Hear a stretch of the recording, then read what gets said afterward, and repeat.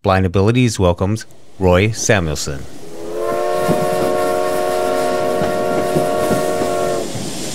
One of Hollywood's leading voiceover, audio description, and voice narrative artists. A sharp dressed man steps from the train, pulls out a cane, and proceeds to go towards a building, including films First Man, Venom, Jurassic World, Spider Man Homecoming, Jason Bourne, The Magnificent Seven, and TV shows Criminal Minds, NCIS, Blue Bloods, and Lethal Weapon. He enters a door where the sign says Blind Abilities Studios. A young lady looks up from the desk. Good morning. Good morning. You got Roy Samuelson, Studio 3. Okay, thanks. I'm going in. All right. He proceeds down a hallway. He stops uh-huh. at a door and reads the braille. It's door number three. He enters and sits comfortably in his chair. Reaches over, flicks a few switches, pulls his boom microphone down. He pulls on his headphones and then reaches for the big red switch and flicks it up. From the hallway, the sign above the door now glows brightly. On the air. Welcome to Blind Abilities. I'm Jeff Thompson, and today in the studio we have Roy Samuelson, who is out in Hollywood leading the way in voiceover, audio description, and descriptive narrative. How are you doing, Roy? Hey, I'm doing great, Jeff. It's good to be on your show. Well, thank you very much. I'm sure our listeners are excited to hear from someone who does voiceover, audio description for movies and television shows. Yeah, I'm really passionate about it. This is uh, this is really wonderful work. I really I like it a lot, and I'm going to stop using the word really. now you got me thinking about it. I'll probably be using it. Let's first tell the people what kind of movies you've been doing in television shows. oh, sure. There's a few series that are on right now. On uh, CBS, there's NCIS and Criminal Minds, and on Fox, I'm doing a description for Lethal Weapon. Oh, you're busy. Yeah, it's a great season this year. There's a bunch of movies, and there's another one that's coming out next month. And right now, there's two movies that are out in the theaters. They're really fun on the descriptive narration side. Yeah, I saw the likes of what was there, Spider Man. That's right. Yeah, the more recent one. Uh, I was on uh, Spider-Man: Homecoming. Wow, you even did Jurassic World. Yeah, the most recent one. hmm So, what do you do in your spare time? That's a great question. The things that I love about audio description have kind of started to spill into my own personal life. Some of the connections that I'm making through social media, turning out I'm getting some more friends on that side. So it's been fun to correspond with them. Some people that have been listening to audio description. As far as other things, I, I really enjoy hanging out with friends. There's nothing like a night out, uh, cooking some dinner at home and having some fun laughs and conversations. I'm, uh, I'm pretty low key when it comes to that. Yeah. Well, when it comes to audio description, there's so many different areas that people can receive their movies, their television shows. Now that some people are cutting the cables and all that, or in theaters, and now they're starting to hear your voice. What got you into giving audio description to movies? Uh, that was a long. It, it, I can trace it backwards. I can say, you know, from where I'm at now, I can look back and say all these steps led back to one person who introduced me to someone who introduced me to someone, and I did a audition, and it, it's um, I'm hesitating because it's hard to it's hard to say how it exactly happened. I think a whole bunch of things happened to come together at the right point and at the right time. And a lot of the the work that I do in voiceover has certainly carried over into what I do with audio description. So I, I think I was I was kind of ready for it. So you took to the microphone. yeah. My first paid job was down at Walt Disney World for the Great Movie Ride, which is no longer around, but they had a gangster take over the ride. And the ride was maybe 60 people looking at different movie scenes, kind of going through the movies on a ride. So, with all the distractions going on, I was on mic as a gangster. So, trying to figure out what's the best way to say what I needed to say, but not get in the way of what the audience members are trying to appreciate, but still getting the message across. And the more that I've thought about the comparison between audio description and that first job, there's so many overlaps. It's really amazing to think about it that way. Oh yeah, that was one of the questions I was going to ask is how do you find the space like you were just saying that gap that space that little pocket where you can describe something without taking away from the audio itself It's a great question. There's a script that's given to me. I don't write it. There's some really talented describers who look at the movie sometimes four or five times or even a TV show And what they do is use a special program that gives me the words that I say as a narrator in between audio cues, in between dialogue, sometimes in between uh, visual cues. And they give me a script with any one of those things, whether it's a time code where I'm looking at a screen that shows kind of like a, a timer countdown or a stopwatch that shows all the time code. And that time code is a cue for me to say the next line. And sometimes they'll say this line needs to be brisk. You'll hear narrators talk a little faster than they normally do mm-hmm. just to mm-hmm. Try to get it in. Oh, yeah. You have to nail it between those two points. Yeah. So by doing that, you do that in your own studio? For the jobs that I mentioned, those are done at a studio. I guess it is possible that I could remotely do it. However, there's a few things that it's kind of to my advantage to do it in studio. First of all, is having the time there at the office. I get to interact with the people there. It's not just going in and doing the job.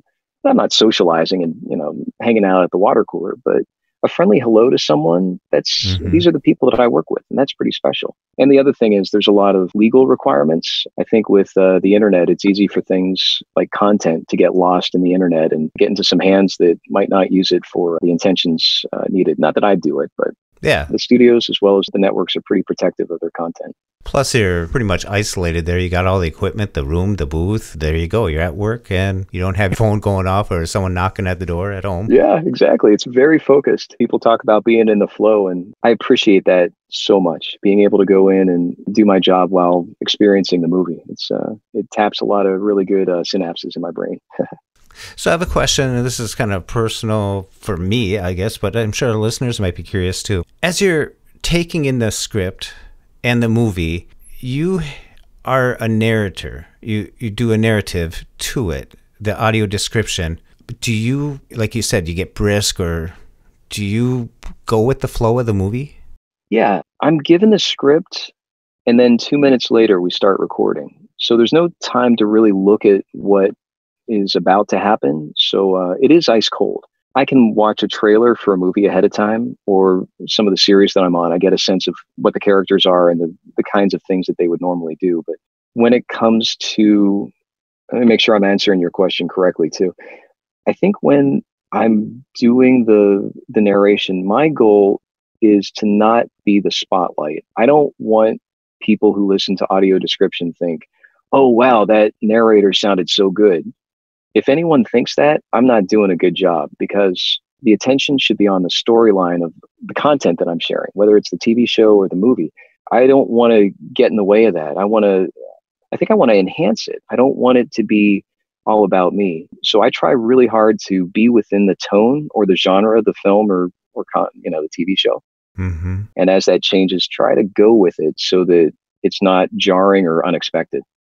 Oh, that makes sense. Now that I think about listening back to movies, the narrative or the audio description just wants to fill in those gaps. So you you get the script and you hit the marks. yeah, I want to be part of the story. I don't want to be the story. So Roy, when you were doing voiceover and work like that, did you see yourself doing audio description someday? I was uh, um, maybe five or ten years ago. I was unaware it existed there are so many great opportunities for voiceover. There's uh, there's narration for instructional videos. There's what they call voice of God, where at a special event someone announces someone who's next on the stage. Mm-hmm. There's commercials, promos, all sorts of experiences, and I've done my best to enjoy those. But when I found out about descriptive narration, I've never felt so laser focused. Everything about it just rang so true to me in my experience and what I was excited about. So, what is it that you found in your voice that made you a talent? I mean, I, I, don't know if that sounds bad or something like that, but someone must have recognized something that you got the voice for doing what you're doing. I can't speak to how I get chosen, but I will say that prior to doing descriptive narration, I spent about 10 years almost every week going to a script writing group as an actor. And in this group, it was a really special group of maybe about two dozen writers, and they would bring in 25 pages of their script. And these are all produced writers, so the quality was really high. And as an actor, I would go in and would be given a script ice cold, and I'd read 25 pages of it. And afterward, the feedback would be given to the writer and not the actor. My experience with that was the first few times I was like, oh, I, I need to do the best I can. I need to be an actor. And then I realized that the story was what people were focused on. So what I tried to do mm-hmm. was when I was doing my acting, I was still acting, but I was trying to bring the story into it because I saw that that's what the writers were focused on. And I think that the combination of, you know, I mean, how many hundreds of times of doing scripts through the years every week? There definitely was a skill of cold reading. There was the attention to the the story, the writing. And I'm sorry, I keep uh, I keep talking about the story. I get so excited about it. Story, story, story. Mm-hmm. But with all these things, I think it kind of paved the way for a nice foundation, so that when the opportunity came to do descriptive narration, there's definitely a lot of nuance. There's still a lot of things that I needed to learn, but I really took to it pretty quickly. Well, that's great because the blindness community really appreciates all the audio description that they are employing today in today's movies. It's getting to the point like when there's not one, it's like, hey, hey. oh, that's great to hear. I saw on some website, I, I posted on Twitter the link. I, I can't recall the exact address, but I think there's 2,200 titles available right now for uh, audio description. And that's just unique descriptions. That's not overlaps. I was like, wow, that's great. Let's keep that number going up. Oh yeah. I hope it does keep going up, especially with, you know, all these rules about the ADA making things accessible and it just shows that a Hollywood production that puts out a movie and takes the extra measure to put in the audio description, it just is more inclusive. It just makes people feel like hey, we matter. And I really appreciate what you're doing to bring that to light. Oh, it's, uh, thanks for saying so. It's been great to, to be a part of that. Yeah, the studios and the, the networks and even the streaming services are aware that yeah, this is this is audience.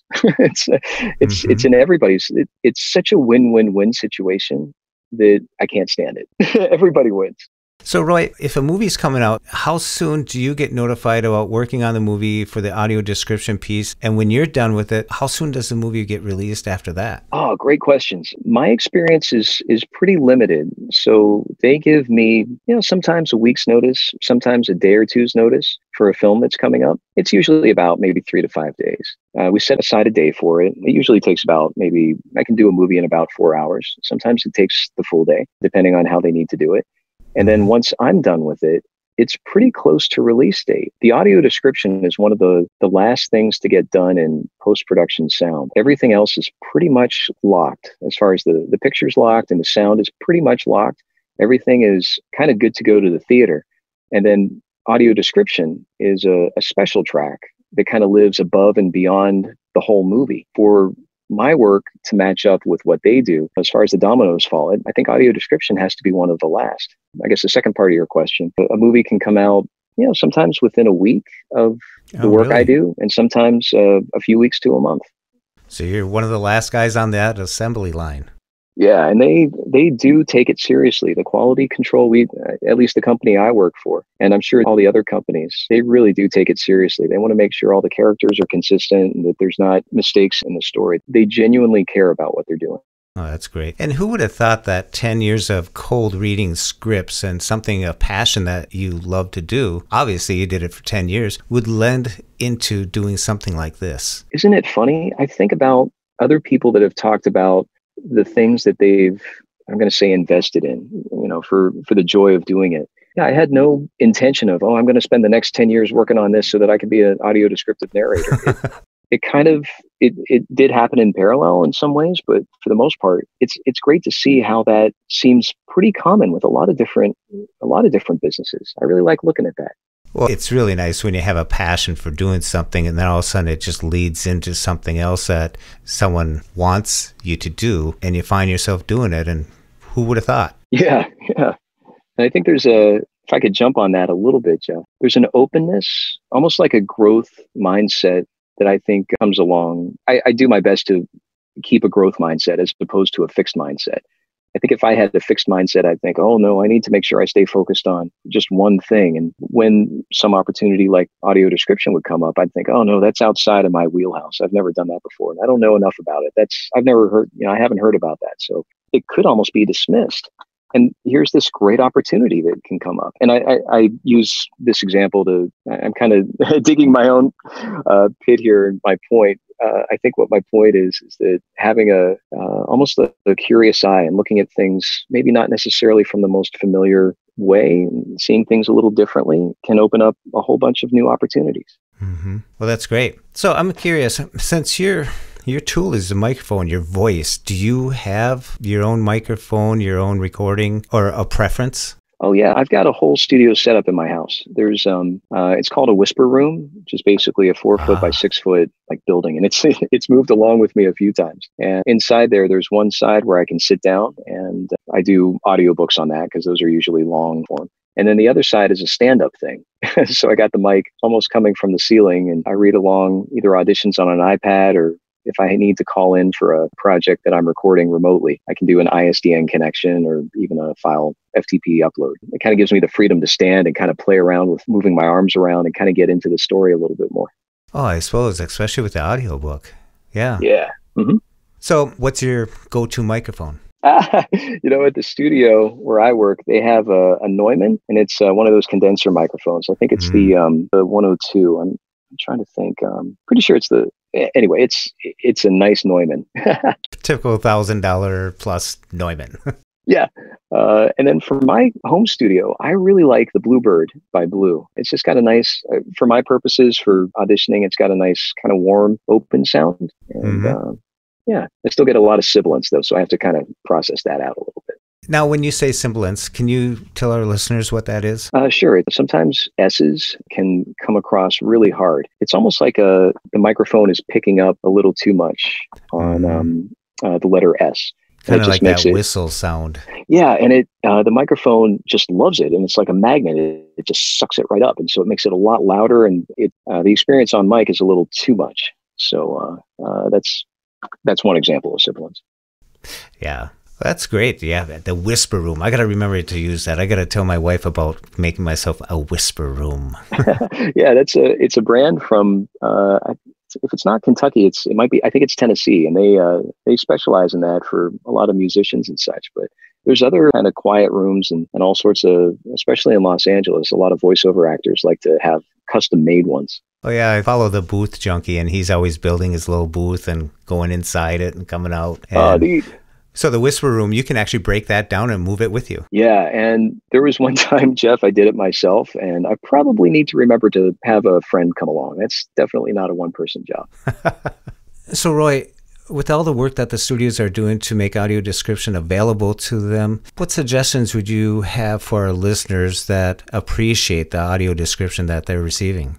Yeah. Uh, so a lot of the studios and the the networks, they've got so many things on their plate. They're advertising, they're trying to put things together. It's easy for them to not gloss over, but kind of I guess the best thing to say is if you're watching movies and TV shows and you appreciate audio description, let the studios know and let the networks know and let the streaming services know that this is something that's really valuable and that you want more of. And I think that kind of message will help everybody out. It gives more content the viewers who appreciate audio description. you know, in Los Angeles, we get a lot of traffic, and uh, audio description is great for commuters who want to catch up on their TV shows or enjoy a movie when they're trying to fight traffic on the 405 it is kind of like an audiobook that's fully produced. So by trying to get commuters into the audio description game, that can only help audience members who also appreciate it for audio description. It's kind of a win-win for everybody. But I really think letting the studios and the networks and, and streaming services know how much this service is appreciated and liked, that helps everybody. Oh, for sure, for sure. It's available to us. We use Comcast and we have that on our phones and it has audio description. So my wife can use her phone to watch a TV show, but she has audio description. So she considers it watching TV and it's like a book, like you said. Yeah. Oh, very good. And that's, uh, that's the Comcast cable? Yeah, Xfinity Prime Video. They're not ah, sponsoring Sure, excuse me for the product placement there. no, it's it's great. I, I like people to know that because it's available and it's working. And just turn it on, and you know. But everybody is a different individual here, and some people like a lot of descriptions, some people like a little, but it's getting better. And as you said, there's what over 2000 available titles out there with audio description yeah and that's just based on that one website i found and who knows there's there's probably some other options there too good to know you mentioned earlier when we were talking, I think this was before we started recording, your mother went to the show, the movie that just came out, and uh, was trying to use the audio description in the theater. Oh yeah, and it turned out great. the The manager gave her and her guests a movie credit for it, but the opportunity for her was to try out the headset for audio description at the movie, and it just so happened that that morning there was a electrical glitch in the theater So Mm. all the power went out and turned back on, and that audio description somehow got reset. And it was important for her to step out and let a manager know. But she was watching, you know, she was enjoying the movie, and she didn't want to, she didn't want to stop and interrupt her experience. But you know, as theaters get more and more accessible, particularly with audio description, the more they understand how how the ropes work, so to speak. Yeah. It's kind of interesting that she wanted to hear her son. Yeah, not too many people get there. yeah, not too many people get that opportunity, but that's great. so hopefully, uh, the the next time she goes to the theater, we'll, she'll be able to hear it. Well, th- that happens with technology, especially when you have like theaters that, you know, the workers are going to college or doing other things and stuff like that, and they have this device. And when they work, they work great. It's getting more and more available to people. I, I love that the entertainment industry is making audio description more available to people. And I really want to thank you for what you're doing, creating the voice that people are listening to without interrupting the show. Well, that's the goal, and I I always strive for that. Thanks for saying so. Sometimes being in the background is just as important as being in the limelight. Yeah, it's definitely. Uh, it, I feel like part of the team. Oh, great. I want to thank you for what you're doing and for taking the time and coming on the Blind Abilities and sharing this with our listeners. Uh, Jeff, it's a real pleasure talking with you. Thanks for having me on. You bet. It was really nice to learn from Roy Samuelson what he does, how he does it, and his interest in it is really motivated. Like he said, contact the studios that are putting out the audio description. If you like it, let them know. Let's give them feedback. And you can follow Roy on Twitter at Roy Samuelson. That's R O Y S A M U E L S O N on Twitter. So as always, thank you for listening. We hope you enjoyed. And until next time, bye bye. Jeff removes his headphones, turns off his mixer, pushes his boom microphone up towards the ceiling. He sits back in his studio chair, looking satisfied. He reaches towards the red switch and flicks it down. The on the air sign outside Studio 3 fades to black. When we share What we see through, Through each other's eyes, we can then begin to bridge the gap between between the limited expectations and the reality of blind the realities of blind of abilities. blind abilities. For more podcasts with a blindness perspective, check us out on the web at www.blindabilities.com, on Twitter at blindabilities. Download our app from the App Store, Blind Abilities, that's two words, or send us an email at info at blindabilities.com. Thanks for listening.